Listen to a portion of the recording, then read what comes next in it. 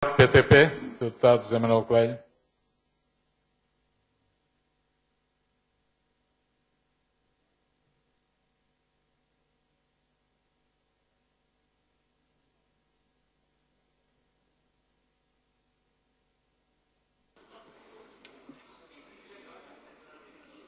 Obrigado, Sr. Presidente, senhoras e senhores deputados.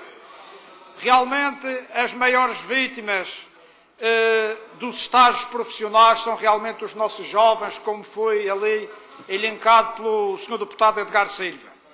Aí eu queria defender hoje publicamente aqui o Sr. Deputado eh, José Pedro Pereira, que ele tem sido injustamente acusado de conduzir sem carta de condução.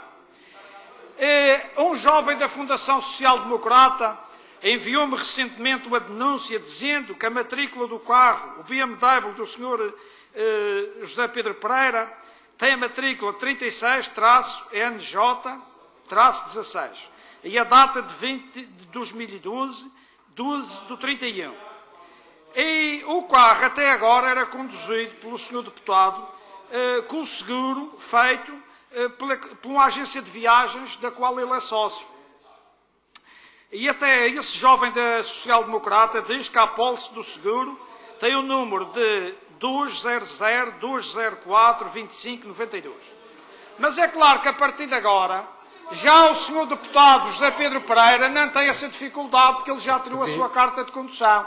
A ele respondendo aqui ao senhor deputado Lopes da Fonseca, aceitou o repto do senhor deputado Lopes da Fonseca, e realmente tirou a sua carta de condução e já nos mandou a cópia. Portanto, o Coelho não tem razão e está provado que o senhor deputado Pedro Pereira é um jovem consciente e um grande deputado desta Casa. Já tem aqui a sua carta de condução, que eu tenho o prazer de mostrar a todos os senhores e senhoras deputados. Muito obrigado.